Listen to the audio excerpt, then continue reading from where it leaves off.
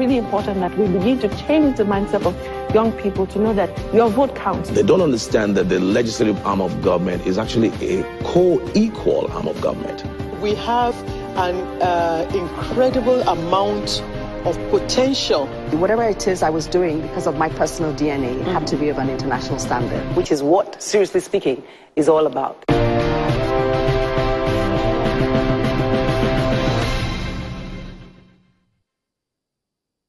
Hello there, this is Seriously Speaking. It really is a pleasure to have my guest on the set today because this set, she's been dressing it for more than two years, and I've threatened that at some day she's going to end up on this program, and indeed she's a guest today. But this is part of our motivational series. I won't bring anybody here just because. It's not just because she's my set dresser, but because she does work that inspires and motivates. And this is the season for all of that. You've set up your New Year resolutions, you've done all kinds of things you want to do. How are you sure that not again I'm going to break all of those things? We're meeting my guest in a short while if you don't go away. And remember, you can always catch this show on several platforms. And I'm going to scroll that as I take a break before I introduce to you my guest on Seriously Speaking today. Welcome back. For today, my guest is a pastor, whether she likes it or not. Tope Olateru Olagbegi is my guest. It's nice to have you on the show. Thank you. And uh, she's been the one doing the damage on the sets, some Six Sense, you know. I mean, you've done a lot of sets, right? Right. You dress a lot of sets. Like, um, which ones have you done? That Tinsel. Oh, tinsel, for all those beautiful things that we see. That wasn't why I invited you to Seriously Speaking. Oh, really? But I, I just liked what I saw in your environment, Sixth Sense. I wanted to believe that you had the sixth sense when it came to decor. Hmm. Was that named by accident? Well, it wasn't by accident. Yeah. You never um, told me um, that. Okay. So, okay. Um, I'm getting the opportunity to. Um, I'd the names. I think I started using the name when I was 17 or so because I had started wow. business for that many years. Wow. Um, and I was while shopping for a name, you know, I will tell the truth that I went through the dictionary I went looking for something awe-inspiring. But mm-hmm. then I found that everything that I was doing um, had a lot to do with the things that came natural to me. Oh. Yeah, and um, every human being, or most human beings, have got five senses, and the things that came natural to me, I decided were my sixth sense. They were the extras. So the name what, stuck what, with me. What were you doing as a businesswoman, business girl at yeah. 17? Um, I started with the sale of underwear. Yeah.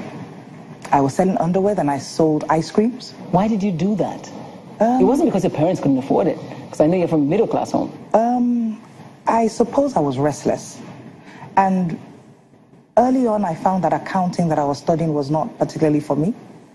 So with the extra energy that I had, I decided to begin business. This was while on campus in Unilag? Yes. Mm-hmm. So I officially owned the, I was actually the first student to own um, a store in the University of Lagos shopping complex.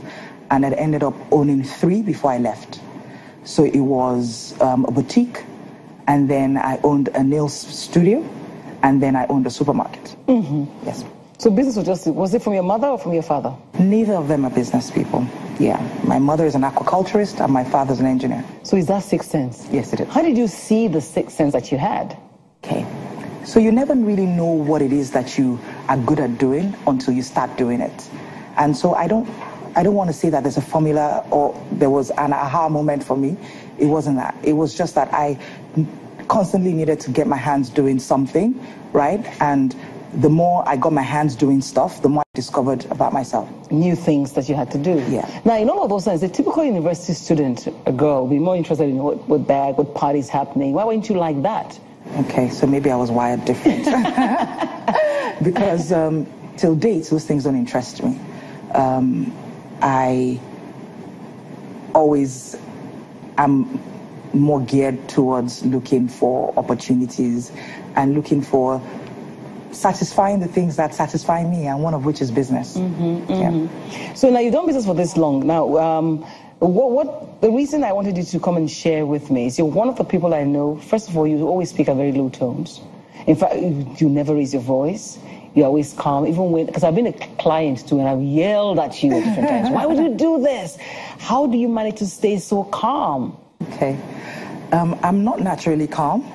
No, No, but I You think over the it? years, yes, I've had to work on um, because relationship is bigger and more key than anything, you know, and so maintaining these relationships is actually paramount. Mm-hmm. Yeah. So tell me how you worked at it so we can learn a few things from that. Conscious effort. Conscious effort. For So, example? um, my client is king, and so I would never raise my voice, nor insult my client, nor be rude to my client. Yeah, um, I cross the line when I do that. Yeah, I'm being paid for something, and when I underdeliver, it's just, I mean, I deserve to be yelled at. Yes, and so I take it in a stride, and I try to make the necessary corrections. Okay. You know what? It wasn't business that brought us together at the beginning, right? And it was actually something that you do, which you call um, orange butterflies. I found it interesting because when I left your store after coming in there, they left an orange butterfly on my car. And then it was the beginning of all this WhatsApp craze. And somebody told me they have a group, Orange Butterfly. And I was fascinated. That's why today's woman did a feature on you at that time. A group of women using their strengths within the social media space. Yeah. But tell me how social, but how your Orange Butterfly began. Okay. Um, okay. The butterfly in itself was a personal mantra, and it was Even before you started this group? Even before I started the group, and Because all um, your all your stuff is orange. yes, you know, and all the around- stuff has got to do with butterflies. You Yes, see, we have a lot of orange here. Orange- Yes. There's never any side that there's no touch of orange. true. and um, it's simple because the life of business is in the personality that runs it, you Mm-hmm. know. And so, um, when I started business, it wasn't a fairy tale or a fancy story. And um, my prayer Why? had always been like, um, I started. That's I this sta- business I started, yeah, the the, the Sixth Sense, the Sixth interior Sense, the interior design business. I started selling cushions from the boot of my car Things like this. things like this. I was making them in the open market. I wasn't important at the time. Yeah. And so it wasn't a fancy story. It was, mm, and I never knew how it would evolve. No, did you ever work for anybody? No, I didn't. Wow. No, I didn't. So right out, I mean, I had always been doing business, and so right out of school, I just couldn't imagine waiting 30 days to get paid. yes. Do you So, get paid every day on business? Um, pretty much, yeah. Sometimes you don't get paid for Not, no, well, not not literally getting paid, but I'm doing something, you know, and that money's coming in money's and all of coming that. So how old is this business?